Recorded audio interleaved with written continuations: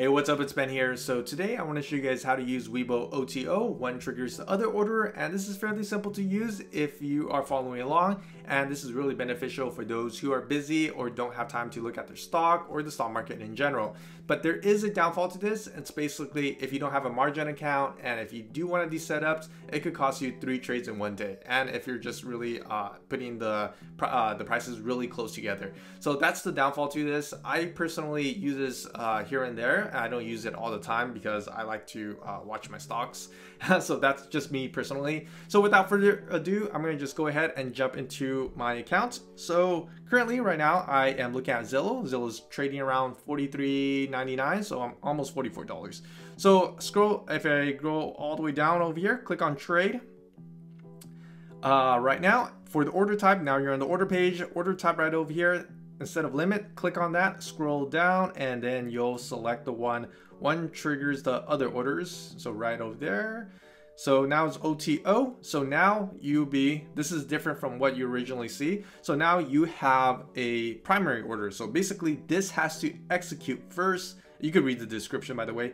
This has to be executed first in order for all the other orders to be, um, be in place and they are independent from each other. So basically, if you do something uh, on this order, this order right over here will not be affected. But but it doesn't have to be uh, contradicting to uh, one of the orders. So I'll explain later on as well. So currently, let's say I want to buy um, a Zillow stock. So currently, I'm going to click on Zillow, and then I'm going to scroll down over here and hit a uh, price limit. I'm to choose, let's say 30 40 40 dollars. Let's say i want to buy uh, at 40 dollars. I'm going to scroll down over here and just hit buy. And this is one this is primary order uh, number one. So for in order for this to work this order has to uh, be filled. So right now currently zillow is trading around 40 44 dollars. It's not to hit this price. But now i'm to add another order so i'm to go ahead and click add right now I'm gonna do a sell order. So if this order gets filled, the second order would be a sell order, and I could do a buy order, obviously. So right now, uh, if I hit this order, scroll down, I want to sell this at, let's say, to $47 or $47.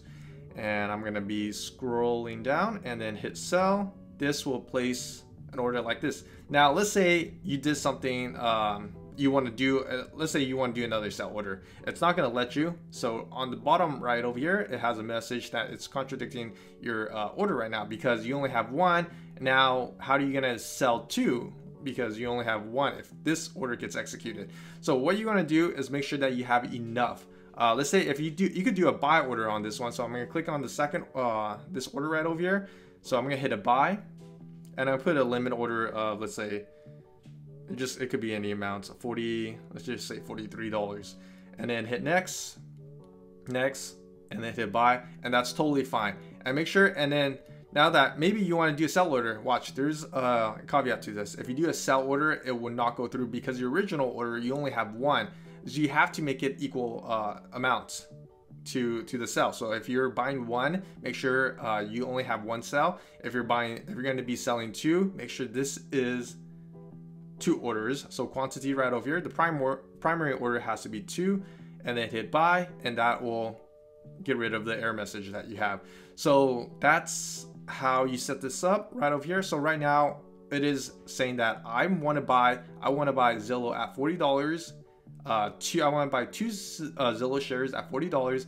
Once that's executed, all of these will be executed. Uh, all of these will be in pending order as well. And if for some reason Zillow hits all the way to $47, it will sell at $47 and I'll make a profit.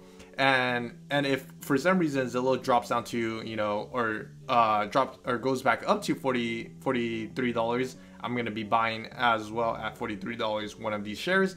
And for some reason, if Zillow decides to, you know, uh, you hover around the $43.93, it'll be selling that as well. So I originally, so if I do this order, I'll be making a profit. So this is for me to uh, make a profit. And obviously you could put, uh, you know, losses, you could sell it at a different price. Uh, let's say you want to sell it at, you know, below $40, let's say $35, you could do that as well. So I'm going to go ahead and place an order right over here. And it, this is all going to be in a working pending order because it's not going to go through. Currently, Zillow's trading at $44. That's why.